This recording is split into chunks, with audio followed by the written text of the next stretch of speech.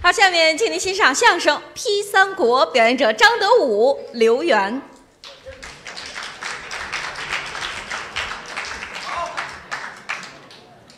给您换一场。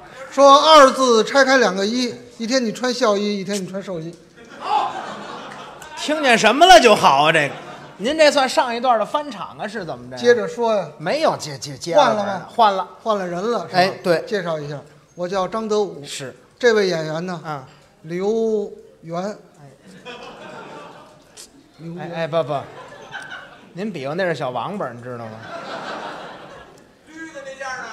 洗了，哎，绿的了绿的洗了，绿的，嗯，刘源，又立起来了是吗？您就别别比划了，单说单说，你就叫这个吧。叫哪个吧？您您说清楚刘，刘刘宇怎么着？没有比刘源，哎，刘单说刘源哎对，刘源刘老师，哎不敢当，我们后台的捧哏演员，哎是，哪儿都好啊，啊，就是不应该来今天这一场，为什么呀？因为大家可能都知道，今天这叫什么？文哏专场，啊是啊，文哏的，啊啊，这演员一上得有文化，没文化，不是，我就上礼拜穿回绿大褂，我怎么就没文化的呢？我就你看我们后台有好多演员，啊那何云伟吧，中央民族大学毕业，啊这介绍出来好听。李菁，啊，北京工业大学毕业。刘云天，中国戏剧学院毕业，这介绍出来好听啊。我介绍出来就不好听是吗？介绍你行吗？可以介绍我呀，实话实说啊。，对呀，刘源啊，曾受过九年义务教育，不是你等会儿吧，不过他这九年啊都是在小学完成的。好嘛，越说越回去了，等上到第十年的时候，啊他三年级那班主任实在受不了了，十年我才念了三年级是吗？把家长找来了。哎呦呵，您的孩子刘源在我们学校啊，已经老么些个年头了，可不是吗？被学校评为最熟悉的面孔。我都熬死六个校长了，我们跟现任校长商量好了，哎对开一个小学肄业证书，您带他直接找一班儿上得了。说相声来了你你等会儿，你等会儿，啊，小学有肄业吗？你肄业什么肄业呀？您别胡说行吗？这我都是中央戏剧学院表演系本科班毕业的，你多新鲜呐！中戏的，是啊，中戏要你，中戏能要您您？收起您那副丑恶嘴脸了先。哎，对，中戏就要我了。甭说，哼交钱上的，对不对？现在上学都交钱，没公费了。不是，我说那意思，人别人正常交一万啊一学年，你得交两万，对不对？对不对？交两万，啊，对对对，这那一万呢，让食堂收走了。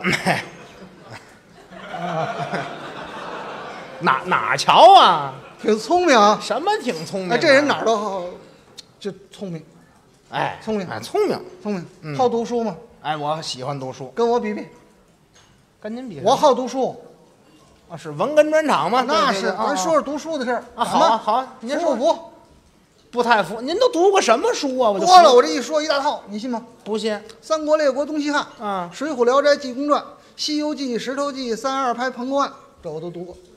不是您读这都是古典名著啊，怎么了？怎么了？古典名著怎么了？就老看古书啊。现代书我也读啊。您都读什么呀？我给你点几个作家，啊，您您说说有一，过去有一个什么，沈从文。啊，有有有。写过一《编程》，啊，对，有有有。读过吗？名著。编程。啊，是是是。沈从文的，啊啊。还有一个钱钟书。啊有。写过一个《围城》，啊，对对对，名作对不对？啊，是是是。还有一个这个这个什么石钟山。啊啊。啊，写过一个这改成叫《激情燃烧的岁月》，啊啊，那叫什么？儿子进城。不对不对不对，这书名您记差了，啊？这叫《爸爸进城》。哦，啊，这读书多了也兴占便宜是吗？巧了吗？什么巧了呀？父亲进城，啊，对对对，我还读这个像什么王朔的作品不，这人不疯了吗？这人啊，不不，我是说读他疯以前的那个哦，您都读过什么作品呢《？空中小姐》。好好一半是火焰，一半是海海水。哦是有没有是是是是过把瘾就死。有有有还有最快真人口那个哪个？我是对对你对对对对对，我替您说这个，我是你爸爸。嗨，哎，对了，就这跟这文人们手慢一点儿，就让他占了便宜去。我跟你说吧，抄回来了。什？么抄回来了？我爱跟您聊天。您我不爱跟您聊点书啊是我呀这这没您读的书这么多。您读过什么书？我长大个子，我就喜欢看三国。哦，您喜欢看三国您，您看，哎，我这这么大肚子啊，啊我这四尺的腰里面都是三国，都是三呃国，都就全是三，我就喜欢读三，别的我不不爱看。这里都是三国。啊，是是是是，那你那下水搁哪儿？啊，对对搁三国底下呀，没听说过。三国就算结识了吗？这不就？你是三国是三路啊？你这文人还神还关心时事，这个那是啊。一肚子都是三国，都是三国哎就喜欢看三国。那问你一个问题吧，您随便问。当着各位观众问你一问题啊，啊啊你说《三国》这部书，它为什么叫三国？哎，这问题深了。我以为这文哏派出来演员都多强，提这问题，武大郎放风筝，出手就不高。这个，我告诉你，我告诉你，记住了，为什么叫三国？知为道吗？什么啊？三个国家魏蜀吴，故此称为三国啊，宝贝儿，记着吧。魏蜀啊？对呀、那不对呀、怎么呢？你开头看那文章啊那小说一开头，十八路诸侯讨董卓，十八路诸侯，他怎么不叫十八国呀？那十八路诸侯都没成事嘛，最后称帝的不就仨吗？啊，不对啊，啊最后降孙浩三分归一统，他怎么不叫一国呀？那还说个什么劲？人就得叫三国。哪段叫三国啊？那你说哪段应该叫三国呀你？这个不对。那什么为什么叫三国？我考证过啊，就是这本书里带“三”字儿的内容特别多。啊，您具体给说说，我听听。头一回宴桃园，豪杰三结义，啊，桃园三结义有有有有有。最后降孙浩三分归一统，啊，是是是，三国归晋了。虎牢关三英战吕布，啊，是陶公祖三让徐州，啊，有三气周瑜，啊三打祝家庄，啊是，三打白骨精，哎，四渡赤水。有三鹿奶粉没有啊？这里头你怎么又提这个废话啊？哪有？怎么还四渡赤水呢？我就说带“三”字儿的目录特别多，啊，后面那几个没有，是不是？啊，是是是，这是明的啊，啊啊，还有暗的呢。还什么是暗的呀？有三不明，听说过吗？没听过。三国里边有这么三个人物，啊啊，头一个有姓无名，第二个有名无姓，第三个无名无姓。您具体一个一个给说什么？有姓无名是哪个呀？有姓无名，啊啊，东吴的乔国老，就是大乔、小乔的父亲，有姓没有名。不是您不胡说，不都说乔国老吗？乔国老怎么了？这不乔国老吗？姓乔，名国老啊，。对，多好听的名字呀！国老是官名哎，关东吴的国丈那不是人名，哦，对，叫国老的吗？有有有，他叫乔玄，乔玄，乔玄听京戏听多了吧？啊听那龙凤呈祥、甘露寺，啊马连良一出来一道白，老夫乔玄是吧？啊！对对对，乔玄吗？为什么？你在三国里看见过吗？哎呦，铭文上是没有。哎，没有这个。哦为什么呢？他编戏必然得给主人公编一名字。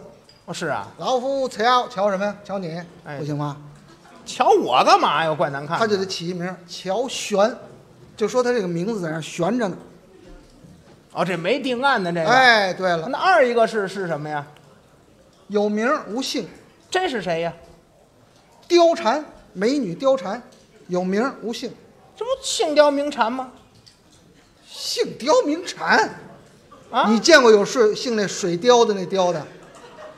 什么学问呢？小学毕业，背不住这门，在历史的长河中绝户了呢，就没了吗？没那事儿。我考证过，貂蝉是什么呀？汉代官员的官帽叫貂蝉。啊，就是帽子呀。哎，就说这姑娘小名叫帽子。他爸呀，真真会起，这是。哎，而且啊，啊据我考证，汉代官员啊，啊这个由于品级不同，哦，帽子的颜色都不一样。还有区别关羽啊汉寿亭侯，啊？是是。莺歌绿，哎，绿的，对，给您来一貂蝉吧，绿不不不要，啊，我拿那貂蝉改一大褂是绿的。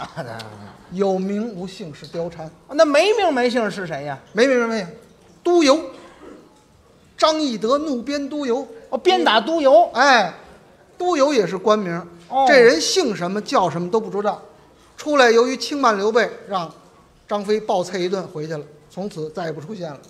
哦，就没这人物了，确实。他出来就被挨揍，这多倒霉！你说说啊，是无名无姓啊。哦，是是是，哎，不过跟您一聊天儿啊，我发现了，怎么着？您对这个三国还是真有研究。没告诉你，这一肚子都是三国 哎，又又来了，是不是？再考你简单的吧。啊！您您说说说，三国这部书里，啊你认为谁能耐最大？我觉得关羽关云长能耐最大。关羽有什么能耐？过五关斩六将，水淹七军，这啊多大能？单刀赴会，多大能耐呀！虎牢关知道吗？虎牢关知道，三英战吕布，刘关张哥仨打不过人吕布一个人，这能耐大啊，这是能耐最大。哦，那那那吕布能耐大。吕布有什么能耐啊？哎，有那么句话，马中赤兔，人中吕布嘛。哦吕布能耐最大。吕布能耐要大，为什么白门楼让曹操给弄死了？嗯，那曹操能耐大。曹操能耐大。哎，对，曹操有什么能耐？挟天子以令诸侯啊，哦，是不是？曹操能耐最大。挟天子以令诸侯，哎 对对对率领着八十三万人马，五十一员战将，被周瑜七万多人给打败了，这能耐大。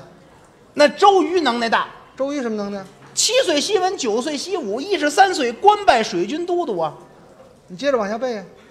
统领千军万马，执掌六郡八十一州之兵权。这我会这个。已经背完了，吃苦肉，献连环，祭东风，借凋零，火烧战船。没完没了了。你不让我背的吗？我这后台都会背，你知道吗？是周瑜能耐大呀。周瑜能耐大，为什么在柴柴桑关让诸葛亮气得吐血而亡？那诸葛亮能耐大，诸葛亮能耐大，哎对六出祁山都被司马懿挡回去了。司马懿能耐大，司马懿能耐大，在曹操那儿长期得不到重用。那曹操能耐大，曹操能耐大，黄道怎么给关羽跪下了？那关羽能耐大。关羽能耐大，哥仨打不过人一个人。哎，说谁能耐大？说，哎，我看您能耐最大。怎么着？您把我问住了吗？这不来回来去的绕啊，这不是？人各有所长。哦，是是啊。是。哎，咱就说关羽这人，关云长你觉得关羽这人怎么样？好，好什么呀？真英雄真英雄。关羽在民间享受最大的香火，啊！是啊，是不是？对其实关羽这人有毛病。有什么毛病？关羽这人啊，沾染了酒色财气。酒色财气。哎，对了，我觉得不能吧？怎么呢你先说这酒，酒，温酒斩华雄，是不是酒？哎人家是形容这杀得快，那酒还没凉呢。对呀、为什么呀？啊，就为贪这杯，出去提了一刀，噔噔噔出去把脑袋砍下来，喝这杯酒，哎，沾酒了，这就算沾酒了。沾酒了。那色呢？色，关羽归汉之后，曹操赏给他十二名歌妓，这不色吗？人家没要送后院伺候皇嫂去了送后院啊。伺候皇嫂去了。对呀、皇嫂住后院，啊，关羽住前院。是啊，白天伺候皇嫂，啊，晚上叫过俩来伺候他，你知道吗？哎那你怎么知道叫过俩来呢？啊啊，可说呢，什么我考证过，哪写着这个呀？沾女色，哦这就算沾女色了。哎对了那财呢？财上马金下马银的不是财，人家不没要吗？没要，对呀、挂印封金。是啊他为什么不要啊？为什么呀？千里走单骑啊带那么多金银带不走，啊，沉得很，那是啊，那怎么办呢？带不走。啊他虽然金银没带，是啊。他带卡呀，哎，对不撂撂下撂下撂下，哎呦，这这不不，啊，没地儿刷去，那儿不联网，知道吗？那汉朝有卡吗？那时候银票，银票有没有您说银票有？哎，带银票往鞋里一塞，走着。这关羽，是不是？哦，这您又考证了。那是啊那气呢？气，不生气能杀人吗？水淹七军的杀了多少人啊？哦，关羽杀多少人？过五关斩六将，一刀一个，噗噗噗，能能不生气吗？再说关羽那脸怎么红的？怎么红的？生气憋的，是吧？我还得少少生点气。酒色财气都沾了。另外，关羽这人失败成功，为什么？为什么呀？不知道。不不不知道。关羽这人成功是因为合作者好，失败同样是因为合作者。关平、周仓，不不不，不是关平，关平那是他儿子，周仓那是给扛刀的，不是。那谁是合作者呢？关羽的合作者呀、啊，赤兔马，我们那马中赤兔哎，千里走单骑，啊，就靠着马快刀急，哦是啊，哎，所以他能成功，哦，青史标明。啊是是，但是失败也是因为这匹马为什么呢？不善待这匹马呀。怎么不善待了给？咱算账啊，一算账就明白了。啊是是，这匹马谁的？谁的？董卓给吕布的，对不对？啊，对，当时已经是成年马了，咱就算他一岁。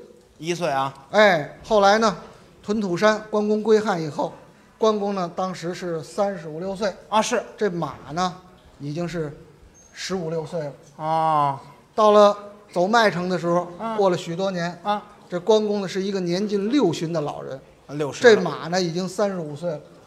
这三十五岁完了，什么晚？您等会儿吧。啊郭德纲三十五正火，马那正当年嘛，那不是？对不对？你说那是人，我说那是畜生。不是，您说是这个是畜生啊，是那个是畜生啊？那可就在后台呢，那个啊，我没说吧？哎我没说吧。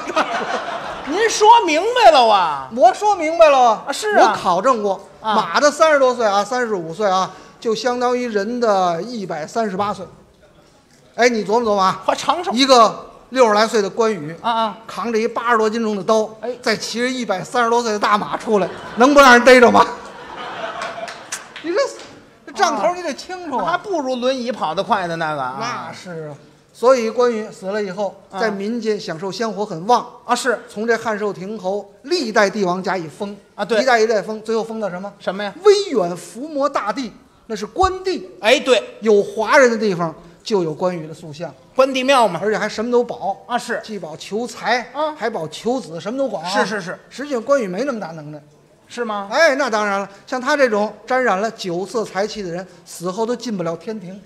哟，啊他进不了天庭，那是啊，那怎么回事啊？我看过一传说，啊啊有一老和尚给我讲的，哦说关羽啊，到了南天门门口那儿，被守天门的神将给拦住了。我给拦下来了。哎，守天门神将非常了不起，哦，哎，龙生九种，种种不同嘛。啊啊，有一种龙子叫碧玺，哦碧玺，知道碧玺吗？不知道。就是庙里驮石碑那个，王八。啊不，就是龙子碧玺，哦，这就叫碧玺。不能瞎叫啊！哦，不是是是是能瞎叫。哦，到那儿，这碧玺一样，站住，不是，靠边，不是您您等会儿吧，嗯，您这是碧玺呀，您这是交警啊，您您这是。不许侮辱交警啊！谁侮辱叫？您瞧这手势，靠边停，这不是让他靠边停车，还开着车去的是吗？銮驾，啊，还是銮銮驾啊，停下车架。啊啊关公一抄这口青龙偃月刀就过来了，啊是因何阻拦于我？啊啊你知道我是谁吗？是啊，碧玺说了，嗯你不就是关公吗？啊对呀你知道我在民间有多盛的香火吗？啊是，你丫不就中医吗？哎对，我说丫中医，这碧玺还是在北京生的是吗？反正就这意思吧，甭管说什么啊了。啊。关公说：“你为何不让我进去啊？啊是啊，天庭有旨，凡沾染酒色财气者，一律不得擅入天庭。哟。关公说：“我能沾染酒色财气吗？”啊是啊。碧玺一一给点出来。啊啊。温酒斩华雄，你占了一个酒字；嘿。收十二名歌妓，你占了一个色字；哎上马金下马银，你占了一个财字；水淹七军，你占了一个气气字。哦凡是酒色财气都沾染者，天庭禁止入内。哟关羽一听真急了，嗯卧蚕眉一竖，凤眼一睁，拿过千红青龙偃月刀来就要杀人。这要大开杀戒这时候关平拦着，哦，关平父帅休发雷霆之怒，战息虎狼之威。哦是您千万别跟这个碧玺理论。啊对，他呀，熟读三国，啊通读三国，就这个王八呀，他一肚子三国。去你的！